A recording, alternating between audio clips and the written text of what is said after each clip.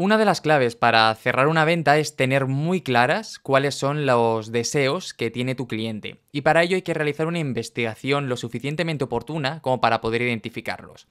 Pero ¿qué pasa? Que a veces incluso con toda esa información somos incapaces de encontrar los patrones o los puntos comunes que hay entre las diferentes personas de las que hemos sacado información, a las que hemos eh, conocido, etcétera etcétera. Por eso, en este vídeo quiero contarte cuáles son los 10 principales deseos que suelen repetirse en la mayor parte de los casos, lo que no quiere decir ni que sean todos, ni que no pueda haber casos en los que se vayan combinando, pero que sí que son los más habituales y que te des cuenta de cómo puedes sacarle partido a todo esto de ahora en adelante, ¿vale? Si esto está claro, también te animo a que vayas abajo a la descripción y te apuntes a la lista de correo que se llama Press Start, donde cada día te envío un consejo de ventas. Así que bueno, con todo esto listo, vamos ya y comenzamos.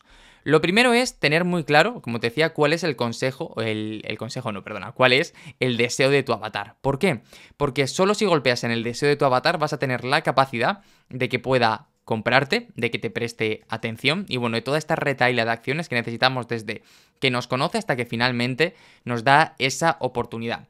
¿Qué pasa? Que la mayor parte de la gente no lo tiene claro, lanza propuestas sin pararse a pensar dos veces en el verdadero porqué de cuál es el motivo que detrás de la potencial acción que tiene ese cliente potencial. A mí por lo menos un ejercicio súper básico que me ayuda a intentar entender mejor esto es preguntarme hasta en cinco ocasiones por qué mi cliente quiere tomar una determinada decisión. Y nos vamos a dar cuenta de que en ocasiones llegamos hasta callejones sin salida. Y no pasa nada, simplemente es darnos cuenta de o que nos falta más información o que realmente hemos llegado al punto de destino.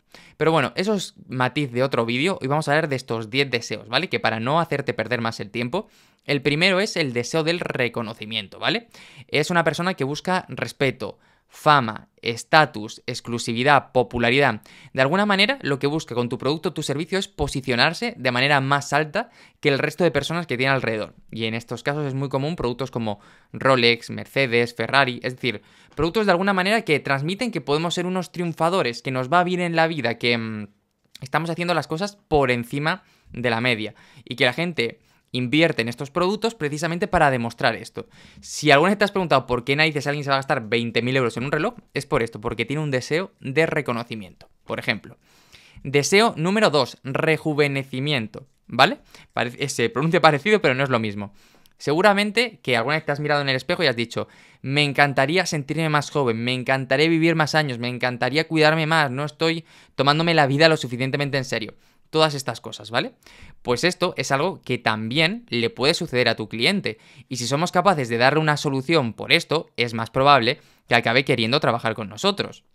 ¿Y a dónde voy con todo esto? Bueno, pues al sencillo motivo de que productos como las cremas antiarrugas, como los gimnasios en muchas ocasiones, como los tratamientos de belleza, van precisamente a este punto, hacia el deseo de sentirse más jóvenes. Deseo número 3, deseo de relax, ¿vale? Cuando hablamos de relajación nos referimos al final a temas como la libertad, desconectar, pasárnoslo bien, tiempo de ocio, es decir, buscamos pues irnos de la vida profesional en muchas ocasiones, desconectar de aquello que nos genera tantas y tantas preocupaciones, que ojo, que puede ser que también intentemos desconectar de algo en la vida personal, una cosa no quita la otra.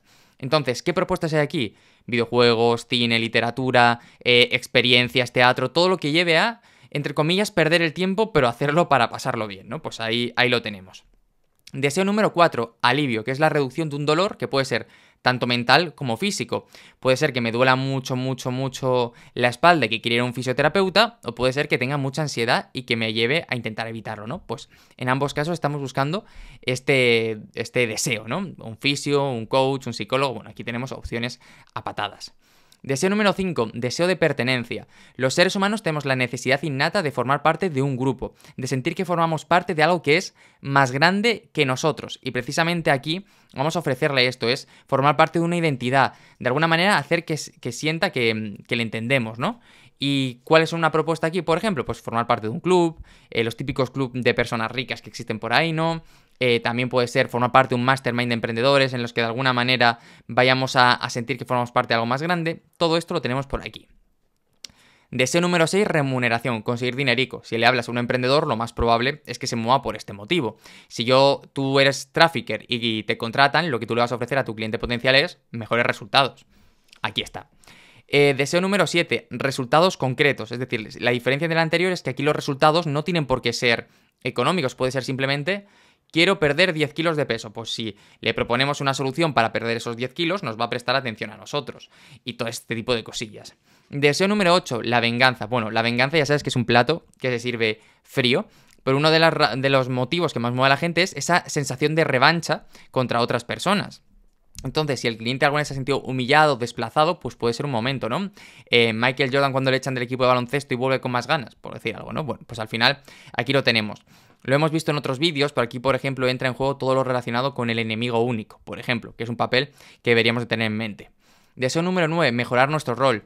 Sea como padres, como hermanos, como amigos, como lo que sea, seguramente tenemos áreas de nuestra vida donde sentimos, y ya todo nos pasa, que podemos hacerlo mejor. Bueno, pues si ofrecemos esa solución, al final vamos a poder conseguirlo. Y por último, el deseo número 10, que es el deseo de romance, que el amor siempre forma parte de todo el, espíritu humano, pues bueno, aquí lo tenemos para poder ofrecerlo, para poder trabajarlo y para que la gente nos escuche. ¿A dónde iría yo con todo esto? Bueno, pues simplemente al hecho de eh, herramientas como Tinder, como las, las estas de citas online, etcétera, pues juega muy, muy bien. Espero que te haya gustado el vídeo, que si tienes cualquier duda o pregunta me la dejes abajo en los comentarios y recuerda que puedes suscribirte y compartirlo, que tenemos una lista de correo a la que te puedes apuntar completamente gratis para recibir a diario nuevos consejos de venta y que además tenemos una comunidad en Discord donde cada semana, los viernes, compartimos una clase completamente gratis. Te puedes venir ahí a verla en directo, que hacemos además preguntas y respuestas. Y oye, y charlamos, nos tomamos una cervecilla, aunque sea a veces sin alcohol, y nos lo pasamos bien. Así que nada más, espero que te haya gustado el vídeo y nos vemos en el próximo capítulo. Chao.